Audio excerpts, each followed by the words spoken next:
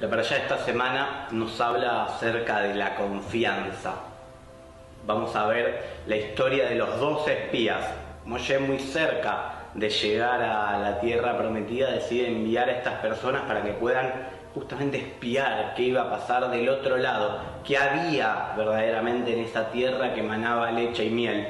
Y es por eso que al llegar de vuelta estos espías comentan 10 de estos 12 que lo que había del otro lado era una catástrofe, que esa tierra no emanaba leche y miel, sino que tenía gigantes que iban a ser imposibles de vencer.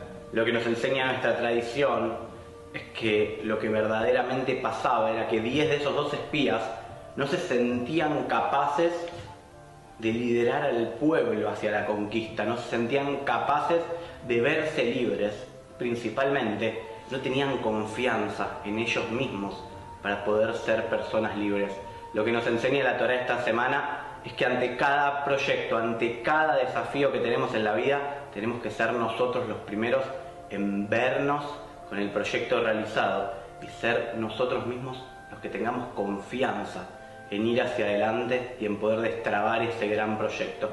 Espero que esta semana puedas tomarte el tiempo en Shabbat para pensar en vos, para cargarte de confianza en vos mismo e ir hacia tus desafíos.